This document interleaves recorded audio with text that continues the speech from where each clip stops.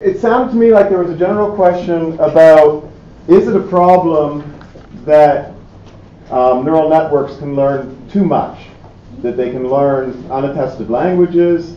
Are there other explanations for the uh, observed language typology, like, like J- Jason was suggesting?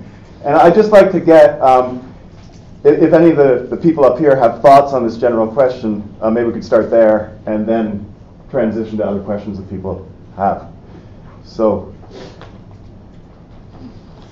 Yeah, I, I, agree with Jason that we don't have uh, very strong evidence that people are unable to learn unnatural languages. And I think in phonology, uh, there have been experiments trying to show that uh, typologically where phenomena are harder to learn, and I think that that research program hasn't been very successful, or maybe there was very, very slightly harder to learn, but um, you can get in an artificial language learning experiment, you can get people to learn pretty weird um, and phonologically unnatural uh, languages. So yeah, I just we I, I don't know that we have strong evidence for for this.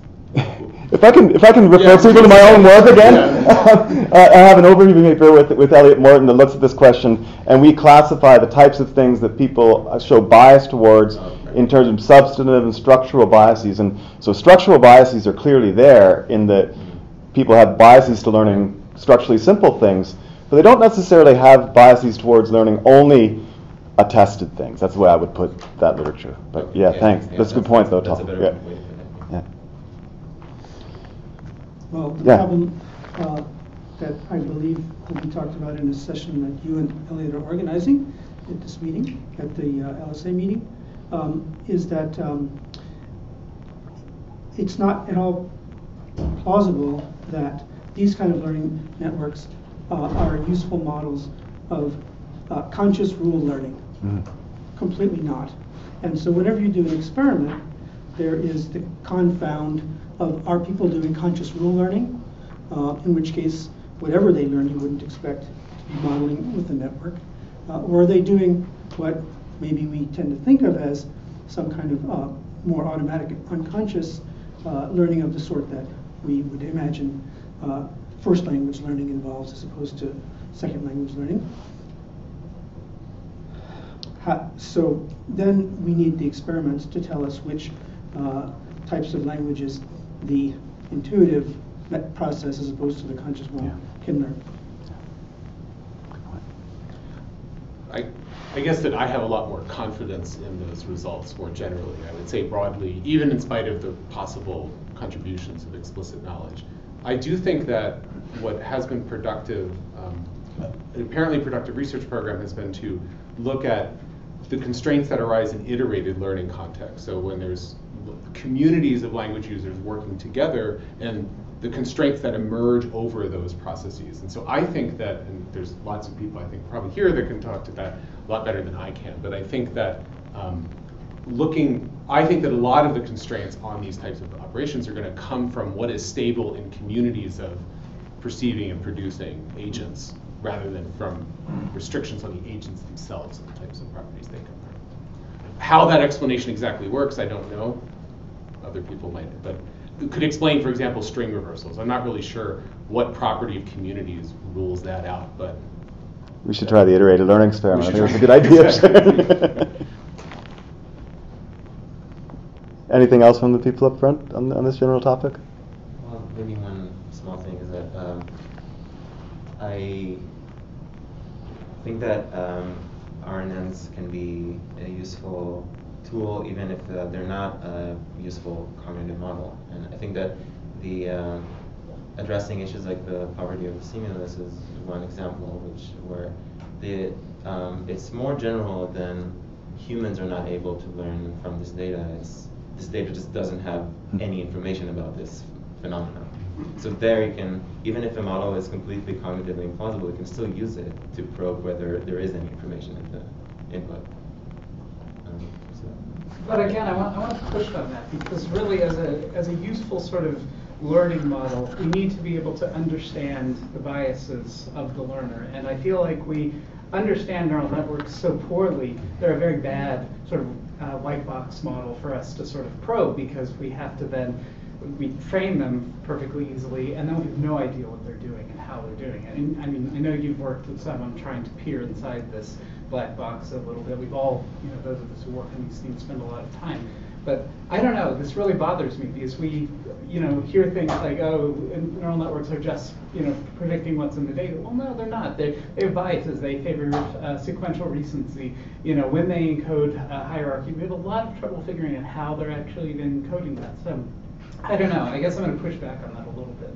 I feel like we need we need them, but we need alternatives uh, we don't just want to have, say, here's the one, neuro, one recurrent neural network that we use. We need to have a family of them yeah. that we uh, kind of have different aspects that we can ablate, turn on, and see what uh, what sort of uh, um, behavior changes. And that's that's a sort of better methodological paradigm.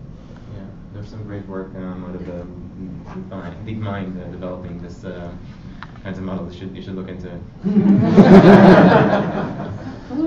uh, I, I don't know who, Sam, maybe I saw your hand first. Yeah, I'll just kind of. Uh, maybe we should keep with the names as Sam Bowman, yeah. NYU. um, I'll kind of push back on half of that pushback. Um, I, I, totally agree that these, these results are, are much more convincing and in a lot of cases really only correct if you're reason if you're able to show that kind of learners with relatively different biases are able to pick up the same signal, um, especially if you don't if you can't easily describe the biases. But I do think that RNNs, uh, that sort of results on RNNs alone do have a, a reasonable place here. Um, only because I think it's I think it is it is fair to say based on what we know that they don't have any strong biases towards sort of hierarchical structure of the sort that you see in syntactic structures. And so if we're if we if we see them learning structure that is very straightforwardly describable in these terms, I think that I think you can make a not completely bulletproof but very strong argument that that structure is, there is ample evidence for that structure in the data. Uh, I um, don't want to harp on this too much, but uh, it's possible um, with uh, tensor product representations to do things which amount to uh, sort of innate uh, preference for uh, recursive representations. Um, and that really involves uh, restrictions on what kind of uh, operations get performed, what kind of weight matrices transform these things. Uh, and you can write down those requirements. They're very uh, simple and transparent. Uh, and so I think it's not out of the question that you could set up a set of constraints which are architecturally uh, in neural network type terms, um, which do predispose uh, the system to be using binary trees as its representational medium, uh, which of course then opens the door to hopefully generalizations that are sensitive to that structure.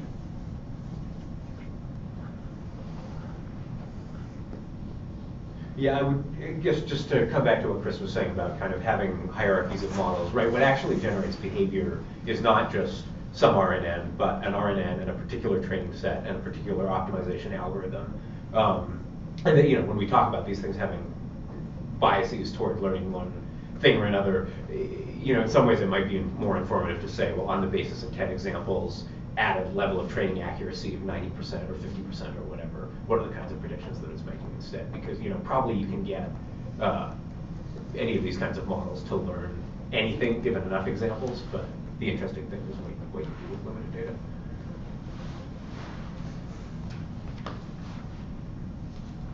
I know this is like slight veering off topic so, uh, from what we were just talking about, but if you are, I was really struck by the sort of one of the closing points of the last talk about like, hey, you know, we can use RNNs to really investigate, you know, sort of blank slate versus adding inductive biases. And I'm thinking, you know, which is something I'm really interested in, but if, I, if, you're, if you're someone who's like, yeah, okay, I want to investigate adding this inductive bias or this inductive bias versus nothing, why do I want to use an RNN instead of like the old symbolic model of choice? Like, what's the, what, what are the scenarios where I'm like, ah, this is when I want to use an RNN as opposed to a symbolic model that's much more interpretable. Yeah, I mean, maybe not just to you, but just to yeah. I think one of our big motivations in using RNNs was just that looking at the NLP community, RNNs are doing so ridiculously well in so yeah. many linguistic tasks, and we don't have a good idea of why. Mm-hmm. That it seems like, given the fact that they're outperforming many, perhaps more principled linguistic models, it seems like they must be getting something right.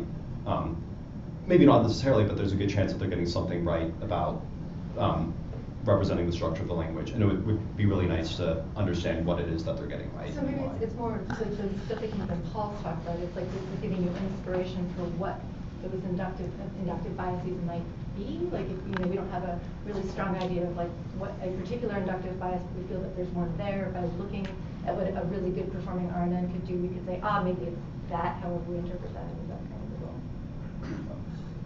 Is that comprehensible? Sorry.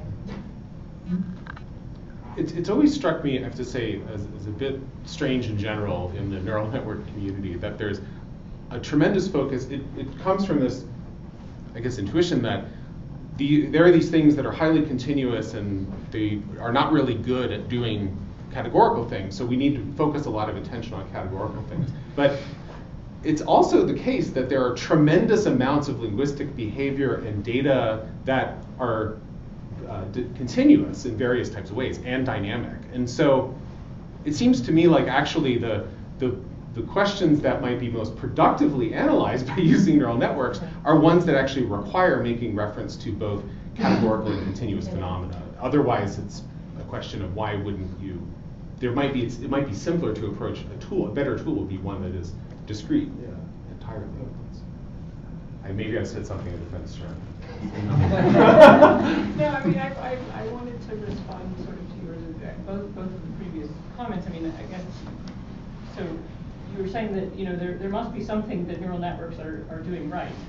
Um, and I think that there's an interesting question there, which is, you know, so far what we've been talking about is structure. Um, but to me, the thing that neural networks are really doing right is similarity. Um, and I think that's why they do so well in NLP. Um, now, I'm not sure that anyone has necessarily explicitly tried to tease those two things apart. It's like, you know, if you do well enough on similarity, does it kind of make up for the fact that you're maybe not doing so well on structure? Um, and I think that in NLP that might be the case, because of course what NLP cares about is things that happen a lot. Um, and what linguistics cares about, well, not entirely, but to a large extent, is things that don't happen a lot. Um, so, you know, and I think maybe similarity helps a lot when you're sort of worrying about things that are very frequent. Um, so anyways, I, I, think that that's something that, you know, hasn't been mentioned yet, but I think the question you know, to what extent is similarity something that's important for explaining language, I think that's a really important question. Um, you know, so that, that might be just something to put on the table as well. Yeah. I don't have any strong opinion on how uh, the recurrent neural networks can introduce them. Louder, please. Okay. I don't have any strong opinion on how recurrent neural networks have some inductive bias. But regarding the ability of uh, handling the uh, hierarchical structures, I think we need to uh, look into the classical studies on dynamic automata and some classical investigation of the representation that the recurrent neural networks develop. And uh, all the recurrent neural networks can be viewed as a type of iterative function map system. So that kind of system usually develops the fractal encoding of the structures. So somehow, if we investigate the relationship between the states after processing different symbols, then typically uh, there exists some self-similarity between those things. So then maybe uh, the reason why the RLMs is so good at dealing with uh, hierarchical structures. But I don't know if anyone actually really tries to investigate the representation from the more recent version of RLM, something like LSTM. There's a really good paper I can draw your attention to uh-huh. from uh, Yoav Goldberg and colleagues mm -hmm. from Bar Ilan uh, that uh, quantizes these states and RNNs and looks at them uh, as deterministic finite automata and shows you can actually recover the DFA that was used to generate the, the training data. And these are just uh, sort of is it in the language, is it out of the language? They have some interesting results where uh, they actually fit uh, some uh, they sort of overfit the data often in the RNN, and uh, during the course of extracting this quantized uh, DFA version of it, they actually find the right grammar, but then sort of continue on and sort of overfit to the sort of uh, contingencies of the, of the data they trained on, which is a really interesting result. Um, but obviously, the thing to keep in mind is these are uh, DFAs at the end of the day. I mean, they're just really, really, really big state spaces, Yeah. but they are DFAs. Uh, this is a new topic, I, that's all right. Uh, just about all the talks were mostly about syntax, uh, but I was curious about what might be the role of uh, syntactic theory uh, in what you're doing, and maybe I could give a, a little bit of background.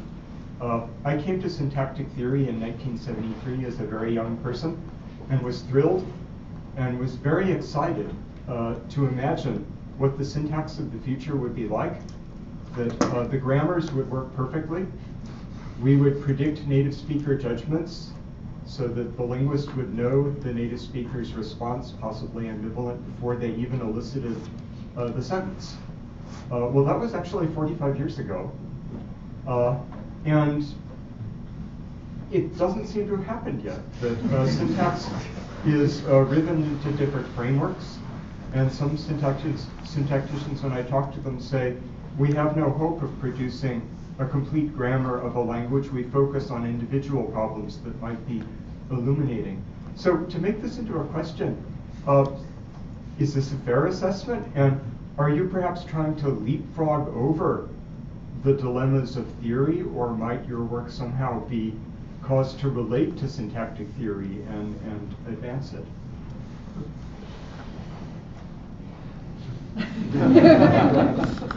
I, I can throw out a reference that might be useful here, um, except that I'm not remembering. the, the, the, the, paper I'm trying to remember is the one that was did um, acceptability judgments, um, gradient acceptability judgments with different models, and RNNs are the are the winners.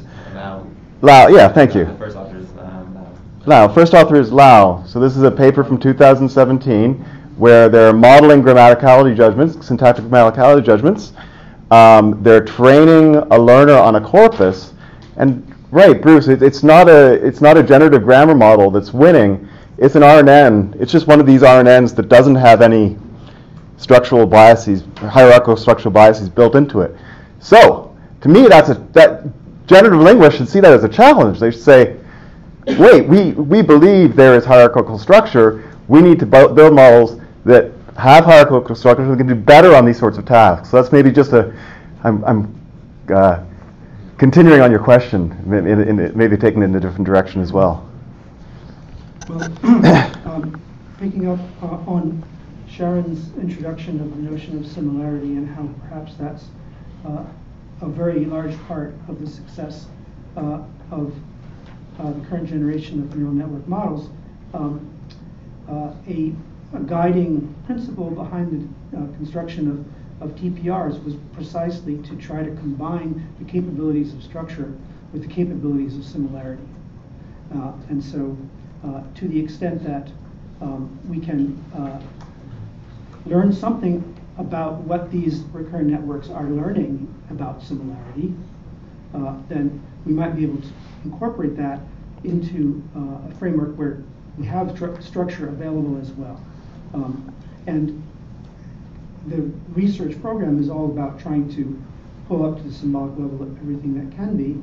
And so, should that make progress, the hope would be that it would lead to some sort of uh, new syntactic formalisms at the symbolic level, which might go beyond what uh, the current, um, I'm not sure what word to call the state of syntactic theory, but whatever that is. right. Can make a comment? Sorry.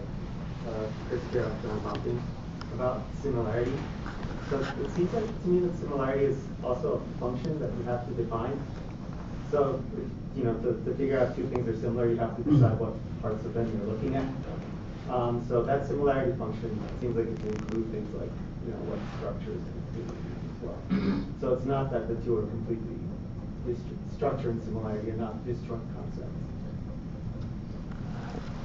Just to pop back to Bruce's question, um, I am not a syntactician, but I would say that um, one hope that we've had is that there might be progress given on certain types of problems that boil down to does a, a given is is something associated with structure A or B, and in turning that into it's associated to two structures simultaneously in weighted degrees of combination. So we've looked at that. Um, uh, my postdoc Laurel Brehm, former postdoc Laurel Brehm, looked at this in the context of verb particle constructions, arguing that we could see graded degrees of association between the particle and the verb in different types of syntactic configurations. And so that's another way in which um, we could maybe think about enriching the notion of syntactic representations and then seeing what types of grammars could be defined over the syntactic. Yeah, the liaison analysis was born exactly out of that uh, situation where there was a long-standing disagreement as to whether in petit ami the T is part of petit or whether it's part of ami. And uh, the proposal that I was describing is they're both. It's both. But that can only work if it's gradiently both. Um, and so the analysis I proposed can be described literally as a linear combination of two analyses that were uh, the subject of a many decade-long dispute. Uh, and so one could imagine as in particle, for particle constructions, and um, is looking at uh, complement versus adjunct distinctions, where long-standing disputes can uh, exist. Uh, the uh, question is whether by blending analyses, using blended representations, we can um, finesse some of these dead ends that uh, are everywhere in linguistic theory, not just syntax. Uh, yeah, uh, Jason Eisner, Johns Hopkins. Uh, so this makes me wonder about whether you'd want to do something similar for other cases in language where two analyses seem to be simultaneously present. Uh, I'm thinking specifically of uh, uh, analyses in combinatorial categorical grammar, where you could see a sentence as being a subject plus a verb phrase, or a uh, sentence missing an object together with the object, which you need for non-constituent coordination and extraction. Uh, so the standard picture in CCG is that both those things are uh, valid analyses. So you have spurious ambiguity uh, in a standard SVO sentence. Uh, because both of them give rise to the same semantic interpretation.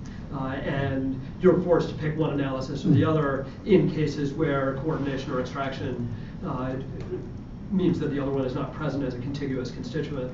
Uh, so there's always been a problem in uh, probabilistic treatments of CCG uh, in that if these things are both right, you don't exactly want to treat it as a latent variable where you say, well, maybe it's this analysis, maybe it's that analysis. You want to say that they're actually both right. And I wonder if uh, would have something to say about that. Absolutely. I mean, the sense in which we're talking about uh, mixtures of symbols in these blends. We're careful to call them blends because crucially, the two parts are present simultaneously. They're co-present. It's a conjunctive combination, whereas probabilistic mixtures are disjunctive combinations. And so there are many situations where the evidence um, uh, is not going to be resolved by saying, well, you can pick A or you can pick D. You're going to have to be able to get A and B to work simultaneously together somehow. Um, and uh, the case that you're talking about is very similar to something that Najoung Kim is looking at for subject uh, for uh, complement adjunct um, ambiguities. So in CCG. The, the other cases that come to mind are things like puns uh, or cases where multiple in music uh, where multiple parses, like if you take something in 6 8, mm-hmm. you're simultaneously hearing uh, duple and triple rhythm. And I don't know whether that's a blend or if it really is disjunctive. And uh, the fact that you're doing having the Necker-cube effect is part of what's pleasurable uh, aesthetically. Uh, have a comment to make about Bruce's question, just yeah. a comment on that question. So. Um, my understanding of that, uh, the, the, paper that you mentioned that um, a lot of the success of the model there is because of confounds in the materials where there often there's a bigram uh, that's extremely low probability bigram in an ungrammatical sentence, but you can easily make it into uh, and you know un unbounded. Uh, you could put un unbounded material in the middle and then you can throw off those language models. Um, and in my we we have um, been doing a little bit of uh, getting acceptability judgments from language models, and you know this more with more careful experimental design and. eh, They're, they're not, yeah, they're, they're not nearly uh, Right. where you would like them to be. It's not like you, Right. you, you can just uh, take an RNN and predict all human acceptability judgments uh, Right. on what, like after unsupervised training on a corpus. Maybe if you do some very complicated um, stuff, but yeah, I mean, maybe one day we'll be able to have a like um, a broad coverage model of acceptability judgments, but I don't think we just have that out of the box with RNNs right now. Right. Yeah. Good, good. Um, Yeah, just one more question, so we can have a, a- a couple minutes to, to stretch before the next, we have, in fact, the, the perceptrons and syntactic structures session is, is ending, and then we're having Bruce Hayes talk for skill. Um, c- Do you have a quick question, Christine?